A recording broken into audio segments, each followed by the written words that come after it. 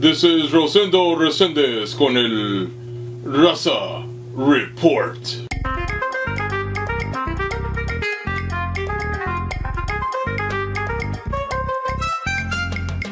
This is Rosendo Resendez with today's Raza Report here with Sean and Christina.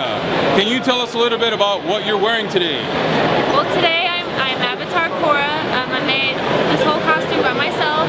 Excellent. And Sean, what about you? I'm Captain America, the first Avenger. I'm pretty proud of this shield. Made it all myself. Excellent. Please follow them on their social media pages and support your local cosplayers.